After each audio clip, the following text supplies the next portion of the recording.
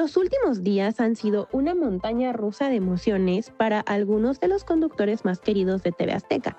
Daniel Bisoño, Ricardo Casares y Mónica Castañeda, figuras populares en la pantalla, han enfrentado problemas de salud que han dejado a la audiencia preocupada. Daniel Bisoño, conocido por su presencia en el programa Ventaneando, tuvo un susto considerable a principios de febrero cuando fue hospitalizado de emergencia debido a una infección pulmonar.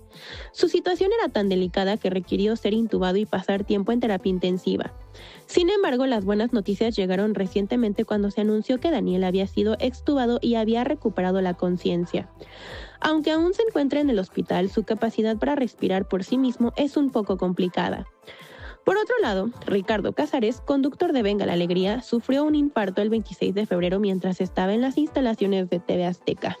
Rápidamente recibió atención médica y fue llevado al hospital para una intervención urgente destinada a abordar una arteria obstruida, probablemente debido al colesterol.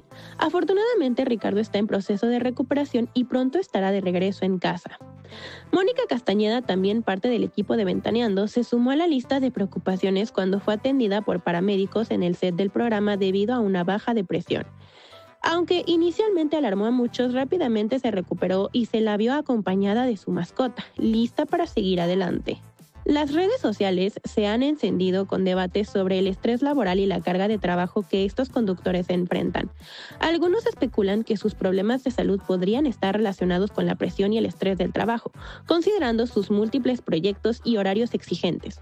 Sin embargo, estas son solo conjeturas. Daniel Bisoño, además de su trabajo en televisión, está involucrado en proyectos teatrales. Ricardo Casares, aparte de Venga la Alegría, realiza transmisiones en vivo en TikTok por las noches. Mónica Castañeda, por su parte, tiene responsabilidades en programas como Hechos, Ventaneando y AEDN 40.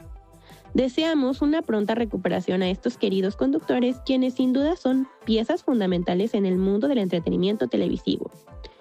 En otros temas, ¿quieres saber qué hizo Mariela con los regalos que le dio Cristian Castro después de tronar con él? La empresaria contó toda la sopa con lujos y detalles.